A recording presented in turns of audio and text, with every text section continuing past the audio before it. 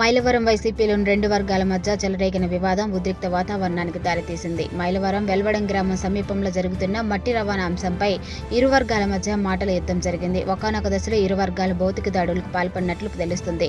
జరిగిన వివాదంకు సంబంధించి పంచాయతీ మైలవరం ఎమ్మెల్యే వసంత వెంకటకృష్ణ ప్రసాద్ సమక్షంలో తేల్చుకునేందుకు ఇరు వర్గాలు మైలవరం పార్టీ కార్యాలయానికి పెద్ద ఎత్తున చేరుకున్నారు.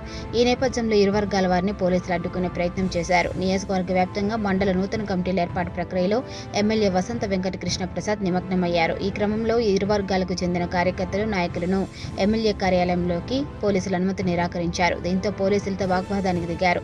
మొత్తం మీద మైలవరం వైసీపీ కార్యాలయం వద్ద ఉద్రిక్త వాతావరణం కొనసాగుతుంది.